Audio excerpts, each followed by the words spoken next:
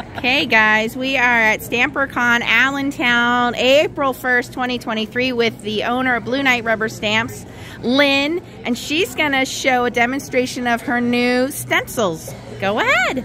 Okay, so every stencil comes with instructions and it comes with four pieces. It's been used, so it's a little messy. So we have the bear stencil here. Here's a thick color through stencil, a thin stamp through stencil, and it comes with the masks, thin and thick as well. So we're going to start with the thick one. I have repositional tape on here. You can see right through it. So we're going to color through it. Whoops. And we are using pan pastels. Of course, of course. So make if, everything easy. Yes. If you um, if you wanted to get a little wispy sky, go from the outside in. We're going to put a little bit of green at the bottom for grass.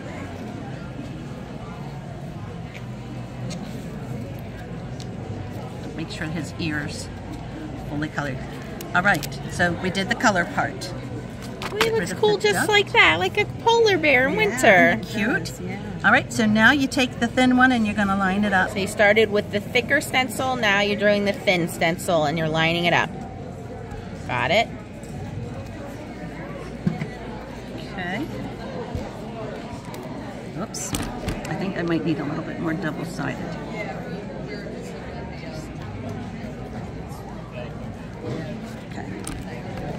So the way you line your stamp up for this, so yesterday I lined it up, put my stencil in, I laid my stamp over top of it to get where I wanted it to be. So we're going to ink this up. What's the name of the stamp that you're using? This is Seasonal Woodland. Seasonal Woodlands and the Bear Stencil. You can use any scene stamp that you want that will stamp through it. And because I'm getting older and my wrists are getting weak, I'm actually going to step on my platform to do the stamping. Oh, okay. This is a super thin um, stencil, but you still have to apply quite a bit of pressure sure to, to get to the edges. So I'm just going to this is step on it, I mean.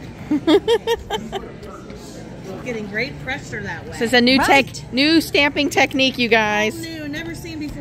I learned this from the ladies at the shows. All right, so that looks good. You see It'll look a lot like this. Beautiful. But to finish it off, you can take one of the little foam applicators that you can get for your pan pastels and just save one out for ink and just take the ink and right edge it. Oh, like and a little shadow. That does just a little shadowing, right.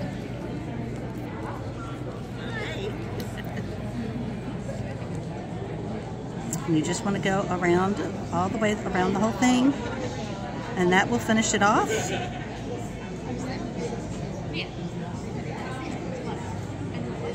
And how many total stencils do you have right now? We have six different ones. Okay. I have ideas for other ones, so. Great. Things to look forward to. Yay.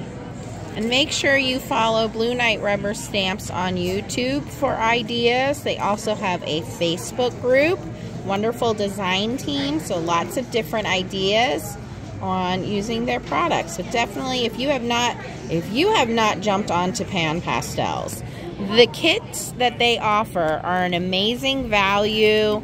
They have a pastel kit, a brights kit, a little bit darker kit. Um, they come with tools. They come in the stand. So great starter kits for you guys to check out. Look at this. And again, That's you awesome. get four stencils in the pack. You get a thicker stencil, a thinner stencil, a thick mask, and a thin mask. Thank you, Lynn. That was awesome. You're welcome. Thanks, and You can check out where they're going to be, stampercon.net, Blue Knight Rubber Stamps online. Bye. Bye.